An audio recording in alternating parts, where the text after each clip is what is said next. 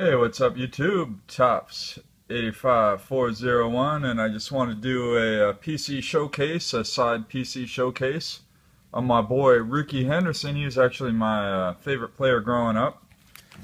So I just figured I'd show you guys a little side PC action I got of him. Uh, got, got the 85 uh, Donruss and Leaf, O-Pee-Chee and Topps, so I got a, you know some parallels in here. And most of these cards are during Rickey's playing days. Few, few, uh, few contemporary cards, but most of them are during his playing days. Love that 88 Fleer, man. Brings me back to my childhood. Love that set. Love it, love it. Uh, some of them are in the binders. I got a few that aren't in binders, are in like screw downs and whatnot, so I'll show you those as well. Man, love that 86 Topps for some reason. That's a great card. Yeah, love that uh, cut to the chase. That is a contemporary one, obviously not from his playing days. See all that flash on my TV's flashing. Funny. Love that 86 Fleer too. All those like earlier 80s, um, earlier 80s cards are really awesome. Especially for like the Rickey Henderson. And this guy was just absolutely ridiculous good. I don't know how many guys got to watch him play, but there used to be something called a Rickey rally, where Henderson would you know lead off the game with a walk, steal second, steal third, and then come home on a ground ball or a sacrifice fly. So the A's would score a run without a base hit, and they called it a Rickey rally back in the day. Love those old Fleer All-Star insert cards. Michael on TV, when he uh, came visiting me, gave me that one. He pulled it out of a rack pack at 88 score. So that was cool. Man, this brings me back to my childhood. Probably one of my favorite cards when I was a kid is that 84 highlight card, the 83 record breaker card. Love that one. And then, of course, the 84 Topps. Got all, like, these are all different, different variations there. And let's see what else. I know the 83 Topps is also the, the, the regular 83 Topps is one of my favorites. That was actually earlier on the binder here. Love that Kellogg's 3D. Pick pick some some of the newer ones up at checkoutmycards.com pretty recently. Maybe some of you guys saw that video. But like all the museum and uh, tribute and triple threads, all those cards are nice to have. Love him in the A's uniform, man. That that's when he was in his prime. In his prime, as some might say.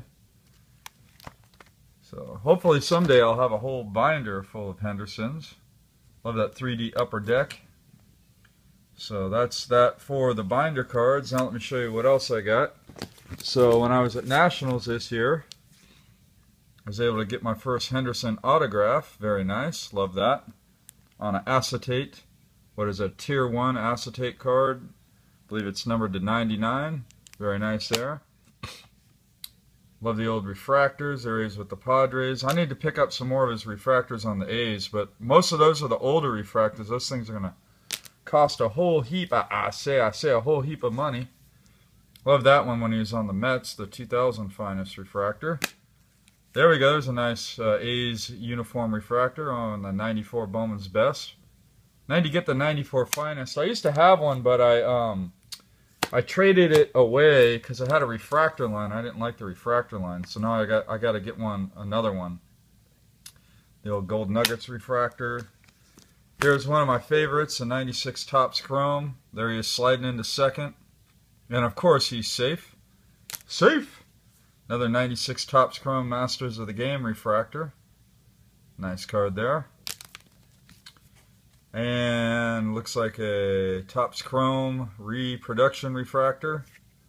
That's back the year where they called them retrofractors, where they'd have like the um, the original back stock, but then the refractor front stock. We got the nice jersey card of Rickey.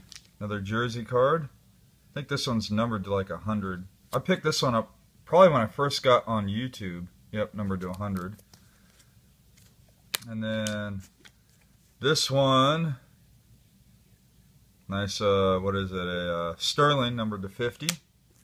Love this one here, a Bat Relic Refractor from Topps Chrome. Nice one there. Lots of shine, lots of shine.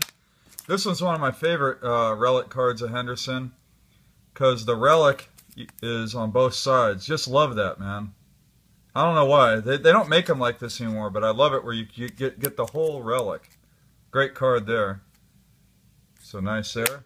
And of course, the Gypsy Queen, beautiful mini Gypsy Queen relic card. Love that card, man. Traded for this at my LCS one day. So that one you can kind of see the back of the relic. But pretty cool. Then we got one with him in the Padres. Uniform. Or no, that's a Red Sox, excuse me. Back card. Red Sox back card. And, of course, the rookie card. I got several copies of the uh, Henderson's rookie, but this uh, B BVG one is probably my best one, graded 7.5. I got two or three others, but like that. Love, I mean, for back in the day, like back in the 80s, 70s, whatever, this is probably the most beautiful looking rookie card of all time because it's actually a photo of Rickey playing. It's not like a portrait photo or one of those cards where you got like five or six or four or three or whatever ball players on the same card and the same like star rookie or prospects or whatever. It's just a beautiful card of Rickey hitting and his slouch. It's got the uh, facsimile autograph. I mean, everything about this card is just beautiful.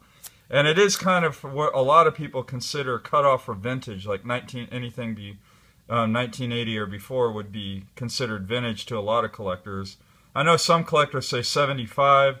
Some collectors say 1980. Some collectors say, you know, before 1970. For me, it's anything 1980 or before is vintage. So this is the uh, the last year of true vintage. I guess 81, that's in the Donruss and Fleer and Topps and all that. You know, maybe that's why. I don't know. More competition.